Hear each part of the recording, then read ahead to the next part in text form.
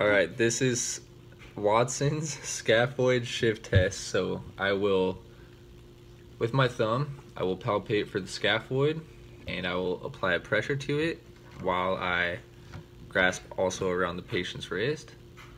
Um, and I want to apply constant pressure to the scaphoid throughout this test and then I'm going to extend the wrist and ulnarly deviate it. If there's pain with this, it could be a possible fracture of the scaphoid. And then I want to, from here, flex the wrist and radially deviate it. If there is a clunk or clicking sensation, um, that would be a positive test, which could indicate a subluxation of the scaphoid. And then also, when I release my thumb from the scaphoid, if there is excessive movement, that could also be a positive test for um, subluxation of the scaphoid.